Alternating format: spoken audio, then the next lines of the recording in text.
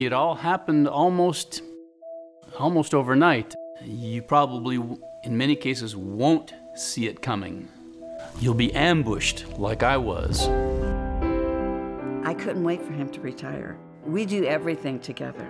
Bought some golf clubs. I practiced so much that I hurt my shoulder. Went in to get that taken care of. They started doing the blood work and everything. They checked my ticker and they said, well, wait a minute, a little something wrong here.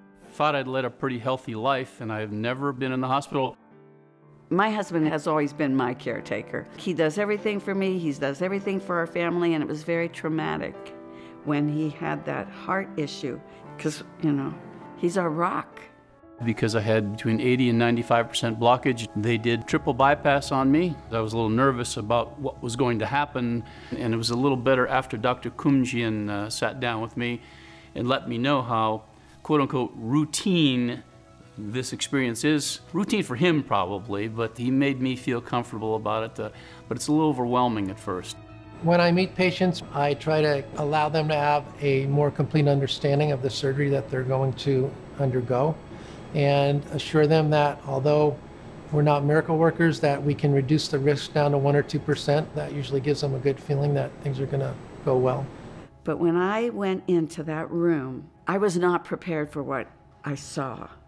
Tubes on both sides of him, going into him, coming out of him. That was scary to me. I thought maybe he's not, he's not going to make it.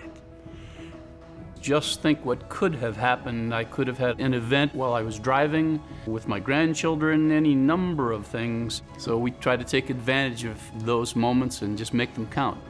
I just could not believe the care that you get from Loma Linda.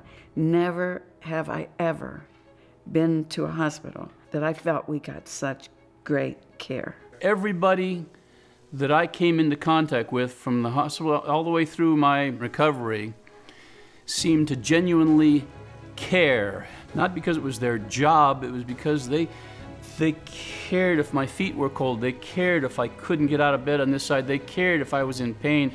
And to this day, I carry some of that over in my daily life to hope that when I extend myself to someone, it's as genuine as I can make it because of the C-A-R-E that they shared with me. And that's the theme I took from my experience at Loma Linda.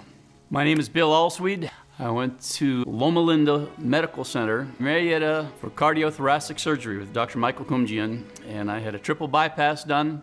It was successful. I started playing golf again, so here we are full circle. I'm pretty excited about my future.